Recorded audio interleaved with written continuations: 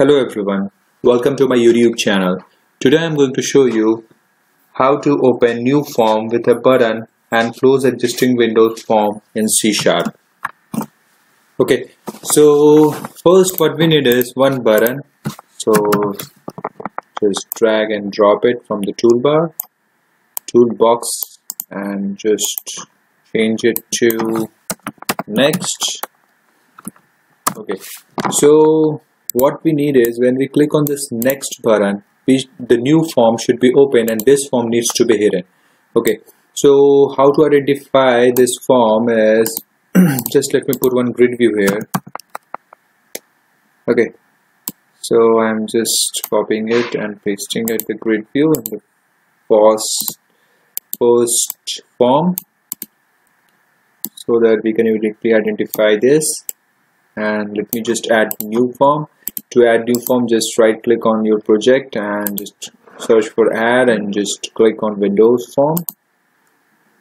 And change your name if you want otherwise just click on add.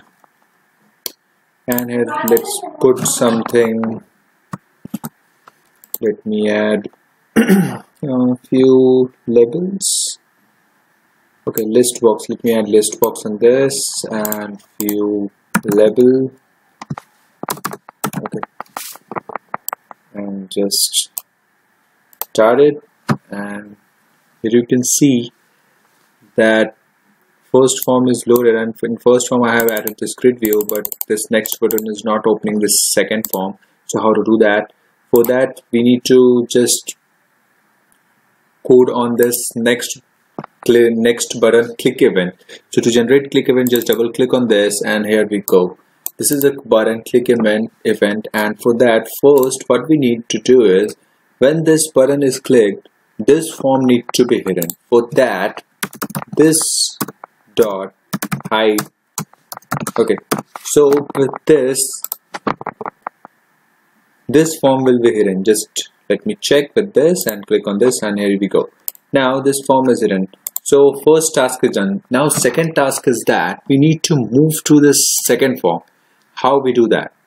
So for that first we need to create the object of uh, the form 2 for that just write form 2 and let me just name it fm as equal to new form 2 and just put this brackets.